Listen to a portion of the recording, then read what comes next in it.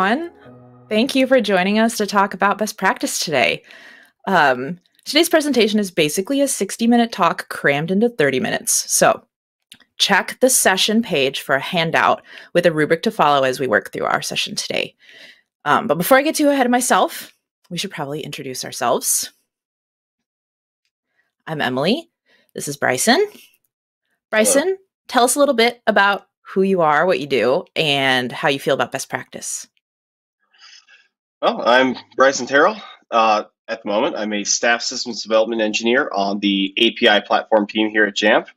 I've been here for getting close to 10 years now.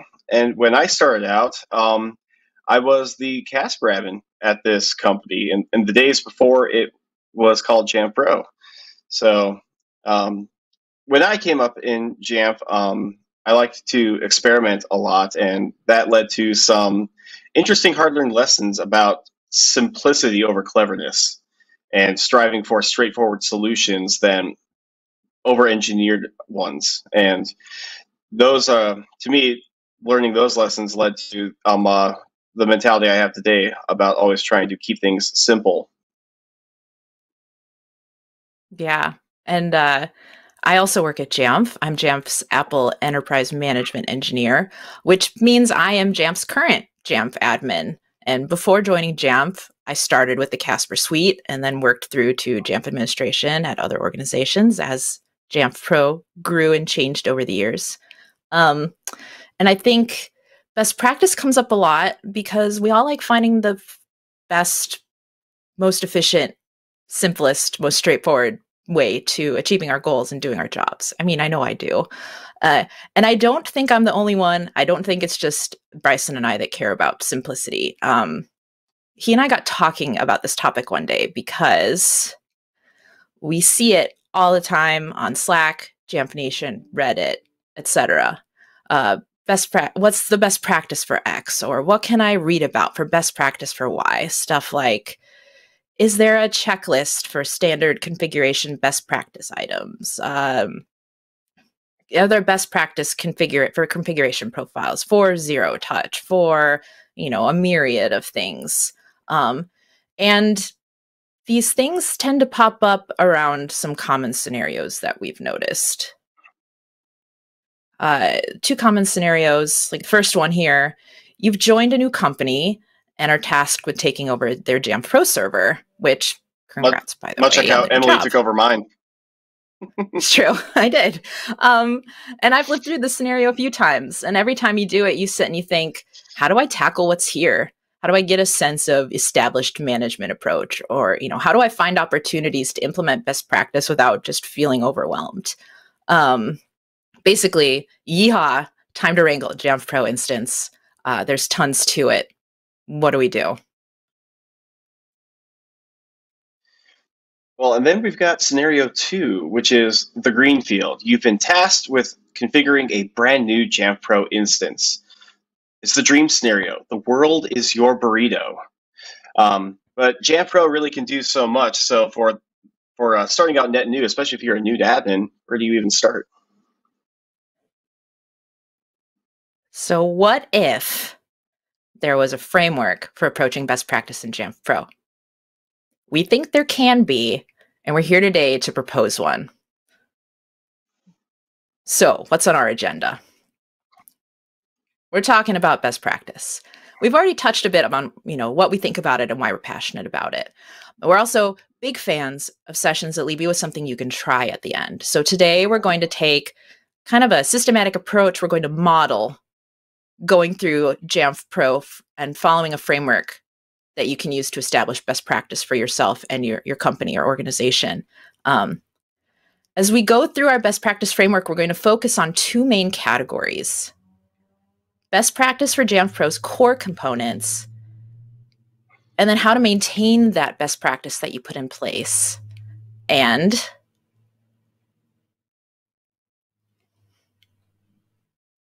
check the session page for links and handouts. We'll have a handout with a rubric that you can follow for yourself to go through this practice with your own Jamf Pro server.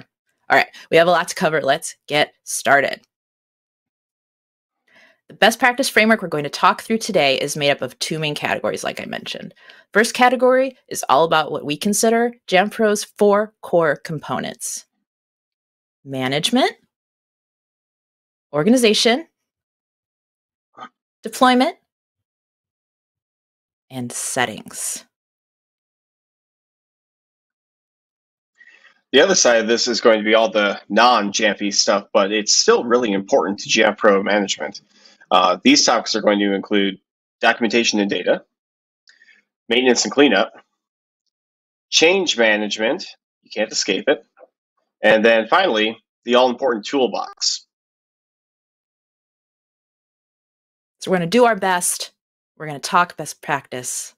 Let's dig in. Let's dig in. we'll kick off our best practice game planning with a look at Jamf Pro's core components, starting with management. When we talk about management today, we're talking about, in particular, about policies and profiles. Policies and profiles do the heavy lifting to apply settings, install apps, run scripts, and perform other management actions on devices. So, remember scenario one, the tag it scenario, the yeehaw partner scenario? Our rubric starts with looking at these management pieces in Jamf Pro to audit what's in place and find opportunities for improvement. So we're going to model scenario one as we go through this today. Policies are a great place to start when you need to familiarize yourself with what's already configured in a Jamf Pro server. At a glance, you get to see how are things generally named? What's the approach to scoping? How are things categorized? Let's see what we can learn from this policy.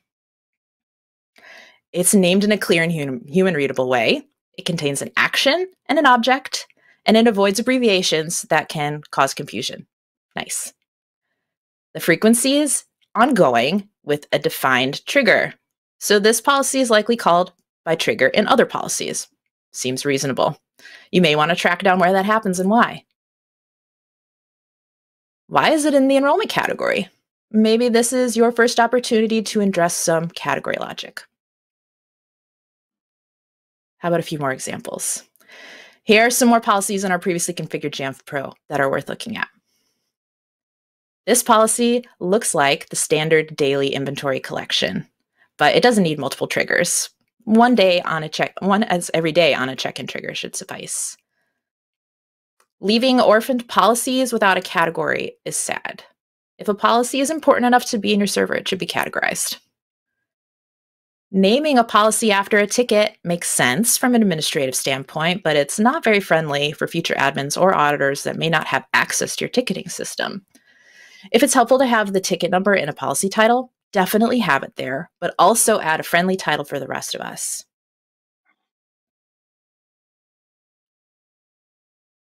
Naming uh, or having a category called policies and then putting policies in policies probably means the admin that set this up previously was a big fan of Christopher Nolan's film Inception, or that gif of Spider-Man pointing at himself.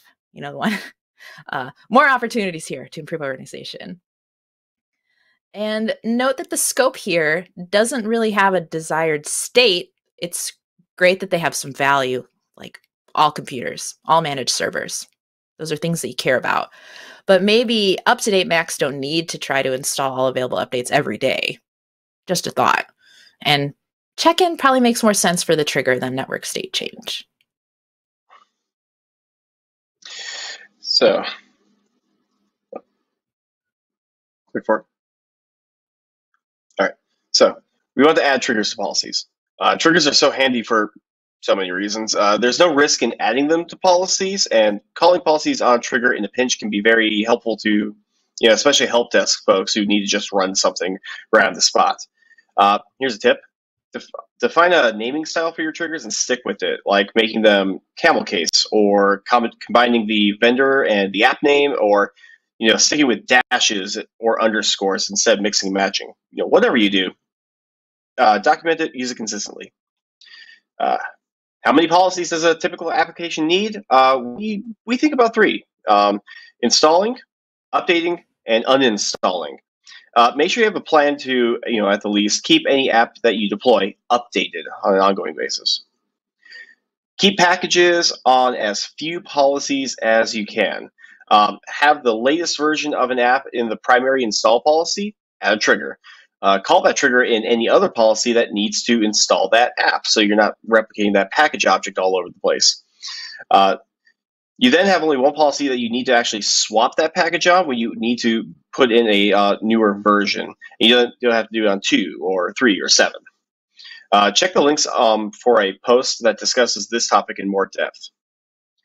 Uh, if you have scripts that require credentials, like uh, calling an API for some reason, do not store those credentials in your scripts. Do not make them plain text in policy variables. Uh, that's why you leak credentials.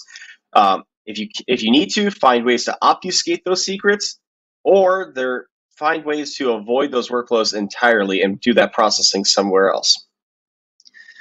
And then organize policies based on their value and their purpose. Uh, think enrollment, scheduled deployments, uh, security, remediation. We'll get into categories a little bit later here. Cool. So that was policies. Let's talk about profiles. Profiles are another important piece of the management puzzle, and they can do a lot. But should one do a lot all by itself? Probably not. There are lots of payloads available for configuration profiles for Macs and mobile devices, and a whole lot of preferences within them. But with great power comes great responsibility. Our best practice tip don't overload a single profile with every setting a client might need. Break that stuff up into different profiles so that it's easier to see at a glance what a profile does. Think mini Oreo instead of double stuff. Or, you know, regular Oreos if you prefer regular Oreos too.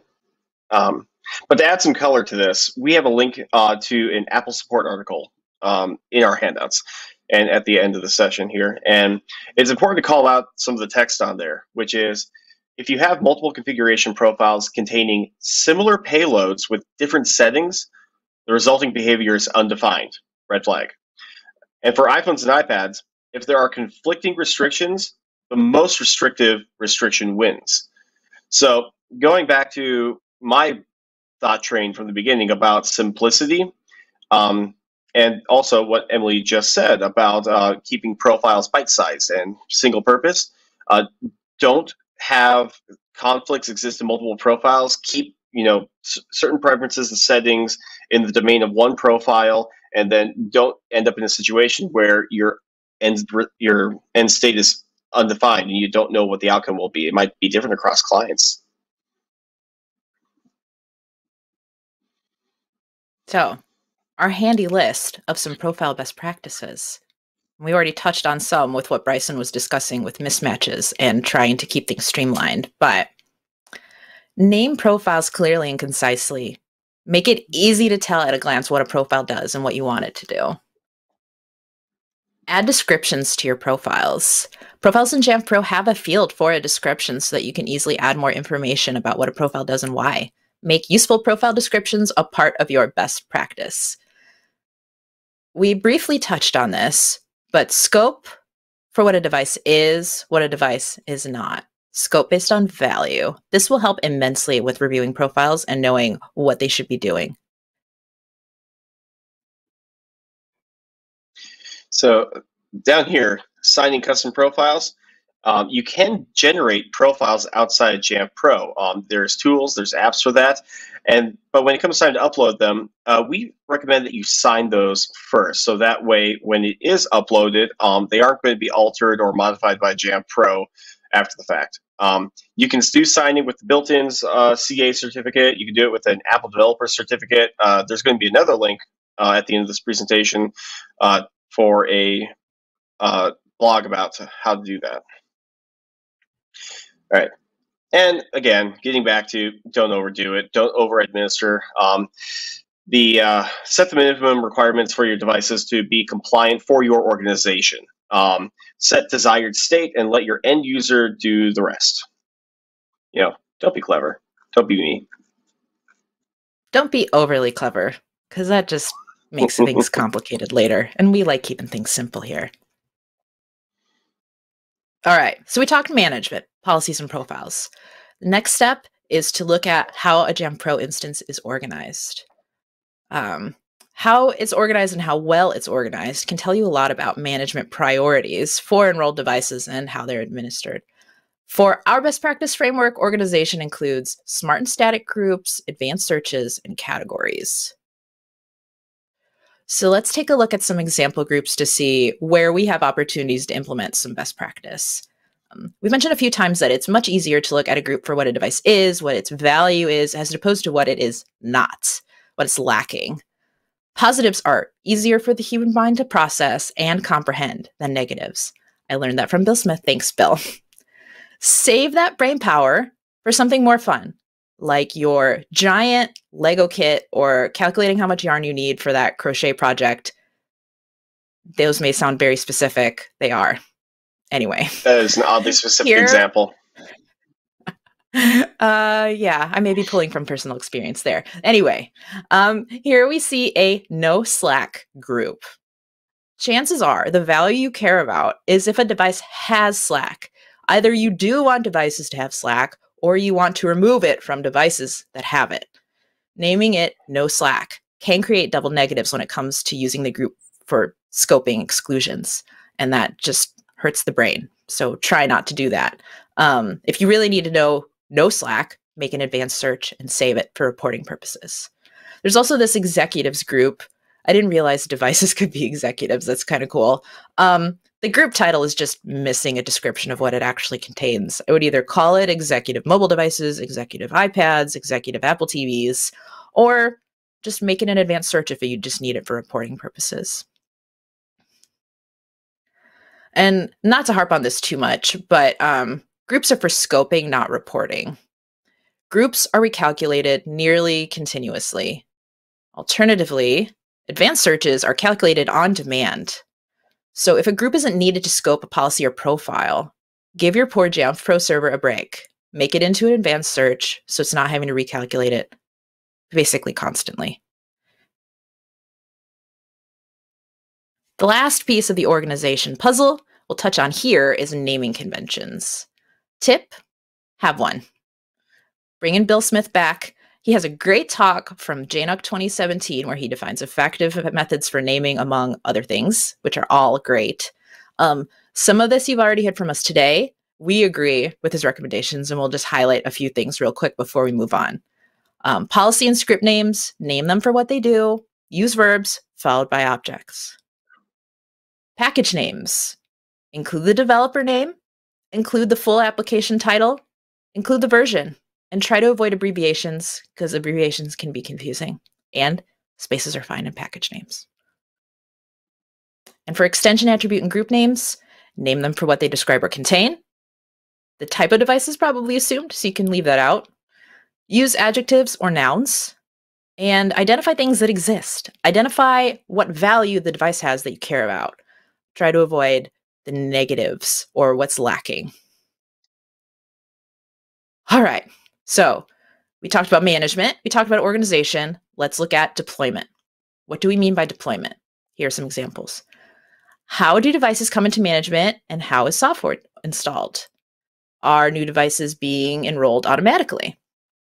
Are profiles and policies scoped to all computers the minimum requirements for compliance and desired state? Or have you thrown in the kitchen sink too? Hopefully not. Um, is the enrollment experience awesome? And what does awesome mean to you for your organization, for your company? And is self service being utilized effectively? So, we've got some tips for deployment. It's the theme of this presentation. Um, first, set up a set up automated enrollment and have all devices flow in that way. Uh, make sure that you have either an Apple School account or an Apple Business Manager account, um, and make sure that all devices are being purchased uh, from Apple either directly or through a reseller so that they're being added to those accounts. Uh, again, you know, there's a theme here. Only enforce minimum requirements during enrollment. Install core business critical applications first. Let end users decide what they need afterwards. Uh, keep enrollment streamlined um, as much as possible to save time, uh, especially for folks who are working remote on slower internet connections. That's kind of a thing nowadays. Um, load up self service with all the goodies and anything else they may need. And finally, go through your enrollment process yourself. Do it regularly. make that as straightforward and enjoyable as possible. Don't get too clever. Uh, don't make it too complicated. Uh, treat this like continuous integration for Mac admins. Dog food your own processes. Make sure that they don't drive you crazy because if they're doing that, they're definitely driving your users crazy. All right. So we're still looking through our Jamf Pro server. We talked about management, we talked about organization and deployment. So now let's look at some important settings. Settings are the real nitty gritty behind what Jamf Pro can do, and that is a lot. Um, there are a lot of settings in Jamf Pro, and as you're going to notice, they're ordered very intentionally on the page. Note that when you look at the full list of Jamf Pro settings, that system settings are at the top and accounts and SSO are the first items. Access and SSO are super important. Make sure you know who has access to your Jamf Pro server and why. Configure SSO and manage all access that way. But have a root account that you can use at the failover URL if you need to, with a password that's rotated regularly and stored securely. Have a password store for that and other things. 1Password, LastPass, Bitwarden, Secret Server. There are a bunch of options out there. Hopefully, your org has one. Make sure you're using it. And as far as the server itself is concerned, um, all right, admittedly, I have some bias here because I was on the cloud team, but our best practice really is that you should use Jamf Cloud if you can. Don't bog yourself down with uh, self-hosting Jamf Pro itself.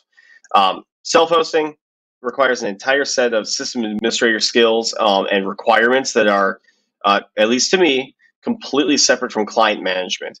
If Jamf Cloud is an option, delegate all the responsibilities for management, maintenance, upgrades, patching, all that stuff over to Jamf and focus on your users. Focus, focus on the people, not the not the servers. Cosign. Also, in settings and showing a little bit of my bias here, self service. In particular, self service branding. Jamf Pro can automatically brand self service for you, and you definitely should. Self service is one of the few Jamf Pro components that an end user interacts with on their device. So establish trust, show that it's a source of truth for what they need, make it recognizable using company imagery. It's pretty easy to make it look awesome because it already does. So it's well worth a few minutes to upload cool company graphics to customize it for your organization. In terms of other things that are super important, we could spend all day talking about this, but we're going to hit on global management settings real quick. Know them. When does your push notification cert expire? What account was used to create it?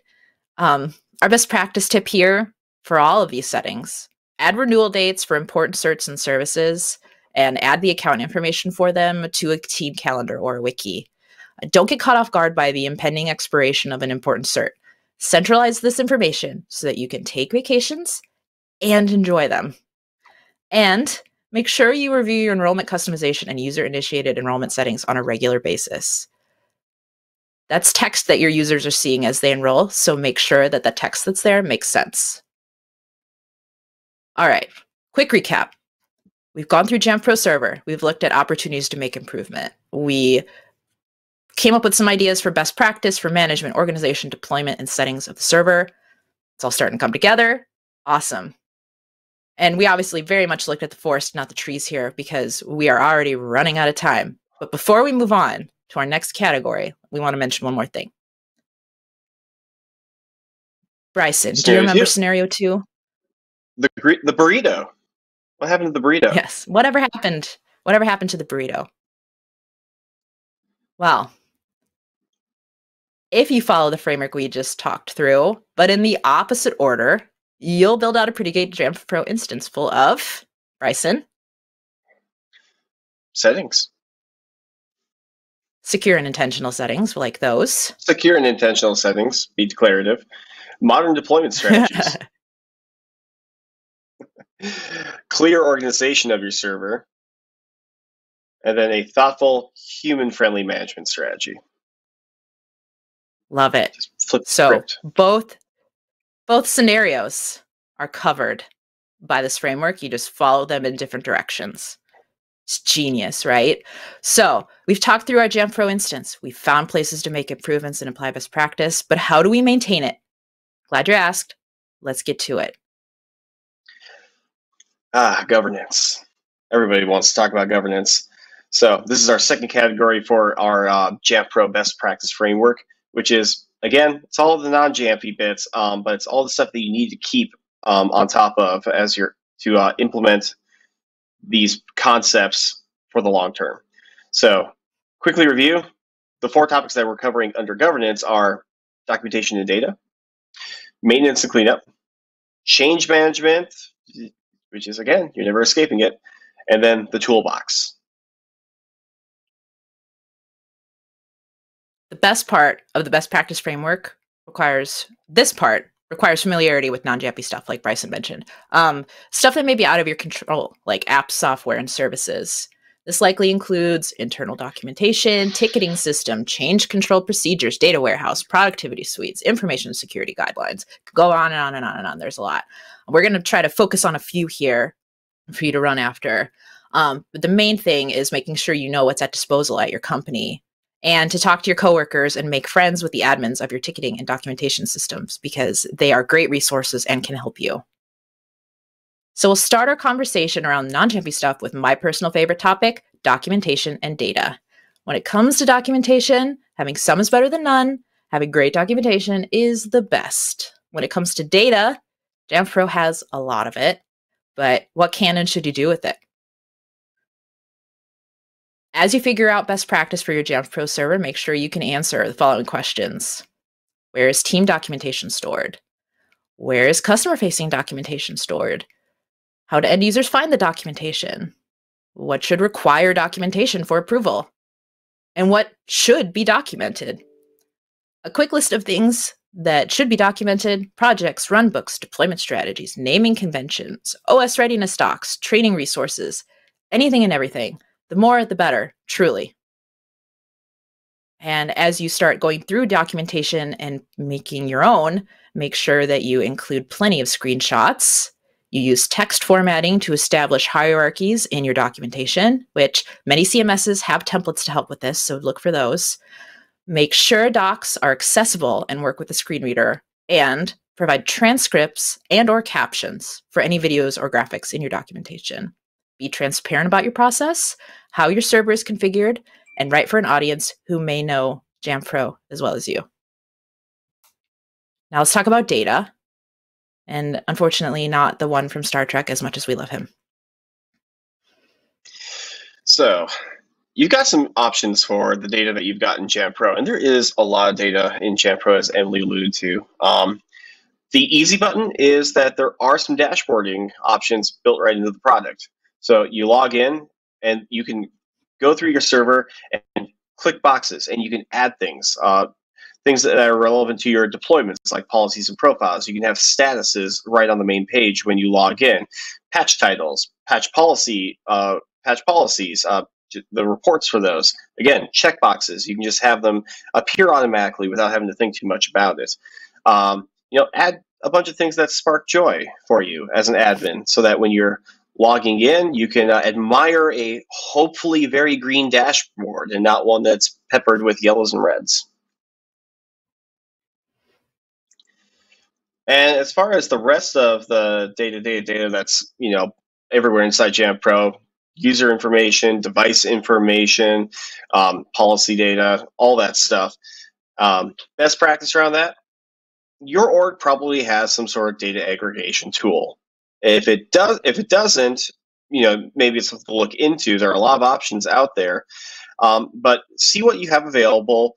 Work with the teams that own those tools at, for being able to ingest that data. Jamf, Pro has APIs. It has webhooks to emit data. Like there's a lot of avenues for you to take advantage of. Um, a lot of these data aggregation uh, tools have uh, built-in utilities for it. Maybe you have to write one. Maybe the, somebody in the community has already written one you can take advantage of. Um, I'm actually going to plug Tom, as much as I want to. I'm going to plug Tom Larkin's session that he's doing here at JNUC as well. Uh, he works over at Snow. It's being data driven, number one one six one, um, and he's going to show off how to make da- how he does data driven solutions of Jamf Pro and Snowflake, as well as other systems.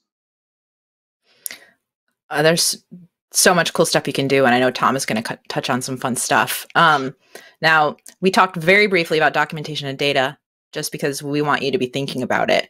What we really need to talk about is maintenance and cleanup. Questions you need to ask yourself about maintenance and cleanup. How often do you clean up what's in Jamf Pro? How do you determine what to remove? What's your cleanup process? What's your actual mechanism to clean up what's in Jamf Pro? And how often do you check for and remove deprecated features? Um, if you can't answer these questions, why? And what can you do to make sure things are tidy in your Jamf Pro instance long term? Our tip here add something to your team calendar on recurring basis to look at all of the management and organizational components within your Jamf Pro instance that we've talked about and see if it's all needed. And if there's stuff that isn't needed, remove it. If you're shipping data off to a data repository at your company, there shouldn't be a need to retain all those things indefinitely. Tools like Spruce, which is shown here, can make this process less manual. And it even has some cute emojis. I am not exactly sure what poodle fart is, and I love it, even though with a 52% rating, I'm guessing it's not supposed to be good, but it's a poodle fart, so it's really cute. I like that. Um, we're blasting through. Next, we need to talk about change management. Um, you can't escape it. You need to have it, define it, and follow it. If you don't have any change management for Jamf Pro, there are some things that you can start doing to make sure you're following best practice. Create all production ready policies and EAs in a disabled state and obtain approval through your change control system before enabling. Profiles should be uploaded with no scope and tested with the test group before deploying to a general population of devices. Deployment should go through approval with a clearly defined scope. For things like scripts, EAs, and profiles that have description and note fields, add change approval numbers and implementation details there for future reference. And there are tools out there like git2jss that can help automate the intake of scripts and EAs. And I'll just make a note git2jss hasn't been updated in a while, but last time I checked it out, still worked. And at the very least, it can be a starting point for you to adopt approvals and continuous integration with Jamf Pro for those important pieces. Yeah, so we're going to rush through here, but the final piece of the best pra- best practice framework is knowing what tools are at your disposal, the toolbox. Uh, if you're not sure where to find those tools, uh, I recommend is the Jamf Marketplace. Go there, browse what's available, see what see what works with things that you might already have in your organization. Um, Spruce and git2jss are ones that we've already mentioned. There's a lot of immediate value in in those and what they offer. Both are designed to work with Jamf Pro to automate away a lot of that, a lot of those menial tasks let's see here. Um, there's also the MUT. MUT is super popular. Um, it allows somebody to do mass updating on records inside Jamf Pro, and it's a it's a nice native Mac app. Patchbot, Nudge, Nudge is really great. Um, there's so many others. Uh, Jamf Migrator, Jamjar, uh, Wandera is in there now. Uh, Profile Creator, like the list goes on. Go there, browse around, see what see what's going to give you value. Uh, but let's also not forget the single most beneficial, greatest resource that you do have at your disposal, which is the Mac admins community as a whole. Uh, the Mac admin Slack, indispensable. There's over 5,000 Mac admins using it daily.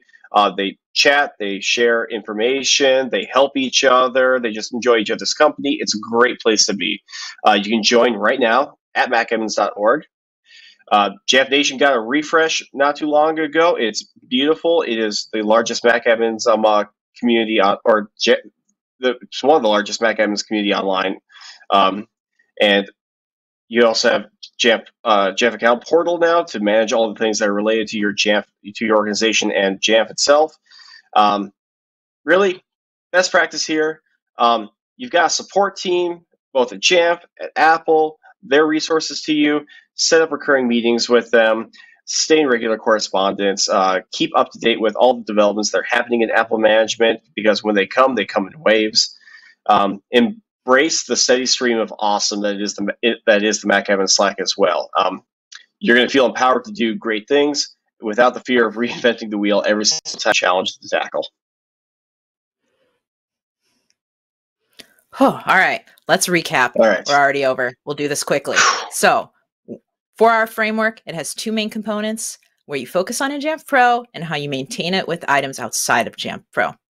So you focus on management, organization, deployment, and settings. And you maintain it with Bryson. Documentation and data. Maintenance and cleanup. Change management. And your toolbox. When you're ready to give this framework a try on your own Jamf Pro instance, whether it's new or already configured, regardless of scenario, check the session handouts for a guide you can print out and follow. Breaks down the topics we talked about today, includes questions to answer with checkboxes to track your progress. There's also a doc with links, so check that out too. Though I do want to give a little screen time to some of the links that we mentioned today, but don't worry, these are in the link handout, so you can get them there. And that's it. We hope you found this approach helpful and can see yourself using it on your own Jamf Pro implementation. See you in the chat. Thank you.